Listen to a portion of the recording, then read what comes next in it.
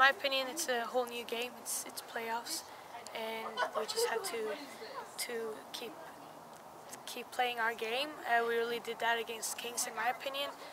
Um, we struggled a little in the beginning of that game, but but we got the results we wanted, and we won that game. And we just had to keep playing our game for this. Kings Kings was early in the season, and I think we developed more and more, and we played more as a team than we did earlier this season. And we just have been working on sticking to the game plan and and work together as a team. And I think we do that more and more uh, for each game. We've been communicating more and more.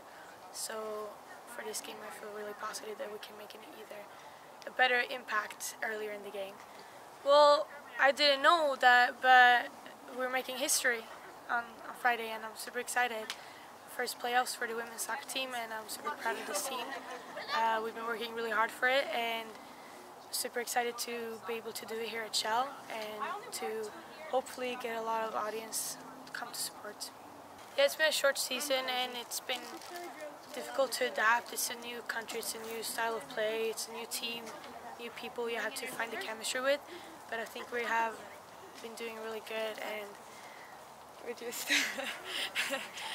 I, I've been just trying to adapt as much as I can to to this team and to work better together with everyone.